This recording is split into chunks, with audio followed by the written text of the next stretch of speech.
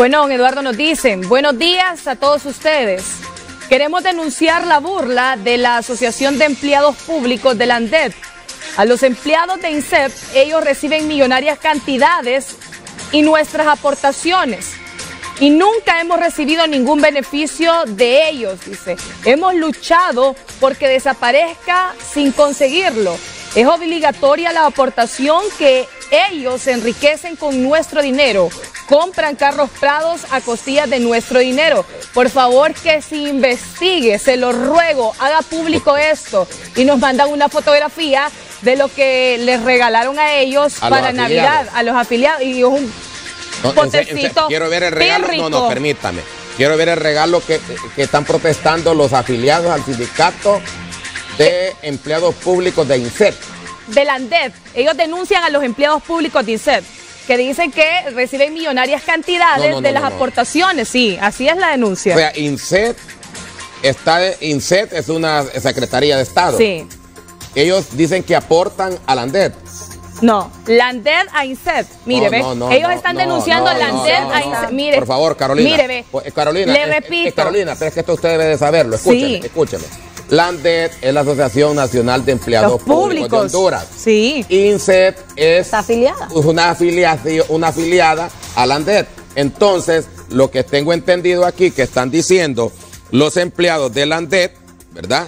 Los empleados de INSET están denunciando a LANDET.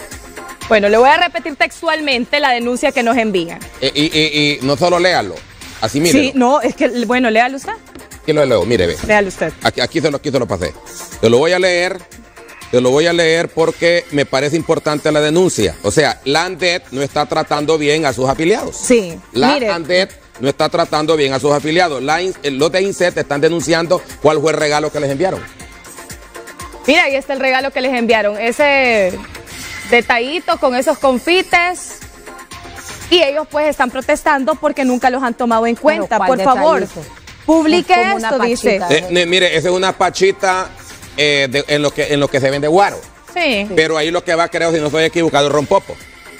De rompopo y tres confites. Sí, es como una ofensa. ¿Encontró ahí el mensaje? Aquí dice, dice, ve. Buenos días. Quiero denunciar la burla de la ANDET a los empleados de INSET ellos reciben, la ANDET, ¿verdad? Recibe millonarias cantidades de nuestras aportaciones, y nunca hemos recibido ningún beneficio. Hemos luchado porque desaparezcan sin, eh, sin lograrlo, sin seguirlo. Es obligatoria la aportación. Ellos se enriquecen con nuestro dinero, compran carros prados a costillas de nuestro dinero. Por favor que se investigue. Lo ruego o le ruego, lo haga público. Y nos manda la fotografía del regalo de Navidad que, le dieron. que les mandó la ANDET a los, afiliados. A los afiliados. ¿Cuánto les costará tres? ¿Hay cuántos confites hay ahí? Tres confites. Y de baratos, va. Y como quien dice, y motivándolos a qué? A, que se pongan ahí con su rompito. ¿Pero es rompopito o qué? Sí, no, es, un rompopito, creo que es. Porque no creo que sea un café. Un rompopo en, un, en una, en una, botellita, en una pachita de guaro. no, pero yo se lo regreso, fíjese.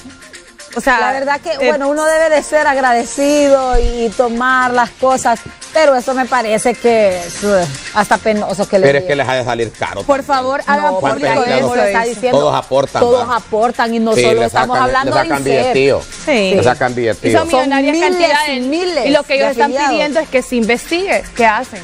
Que porque ellos andan en porque dice que con ese dinero que ellos compran carros, se dan buenos grandes vidas, se van de viaje y ellos, con el, mire el regalito que le salieron. ¿Usted lo agarraría, Cecia? No, yo lo agarraría, pero de repente cuestionaría lo mismo. Pues, ¿Y usted, Carolina? No, yo no, yo le diría muchas gracias. Fíjate. ¿Y porque no, no le dan ni un...? Porque si usted sabe que está aportando, si usted sabe que...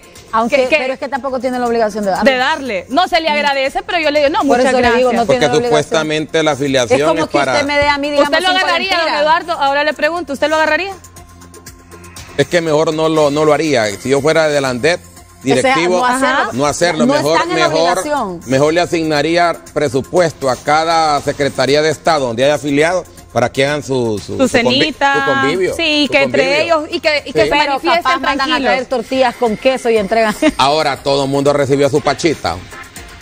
Usted, usted, eh, porque puede ser que solo a los del INSET le hayan enviado. que no que recorten solo, los, que los solo- empleados. No. que solo el presidente, No. que solo el presidente de, de- de- de- de la filial de INSET haya enviado esto. Y que puede hacer que a los otros nadie les dio nada. Bueno, Mire, vamos Bueno, a ver. decía, hay que ser agradecido porque sí, al menos a ellos les ¿Qué llegó.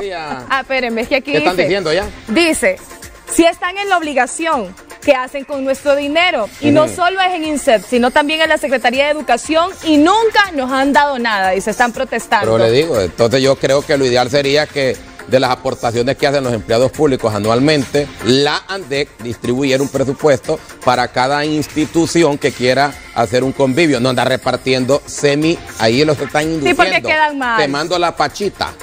Mire, los beneficios que gozan los de Citraicer y se vendieron, por eso no le dieron el bono, dice, a la canasta básica. Mm.